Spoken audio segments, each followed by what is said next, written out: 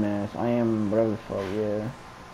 No, I robot mask. Well, obviously he wants clout, bro. That's the, that's the clout mask.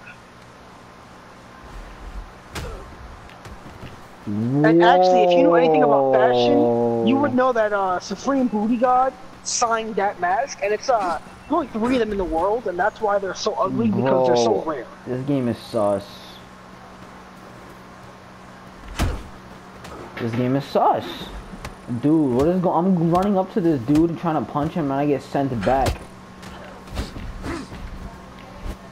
Is this game alright? You feeling well? It's a little under the weather. I should come back later. What's up, guys? over? Bro, I I really want to like I don't want to waste my space, but I really want to record what's happening right now.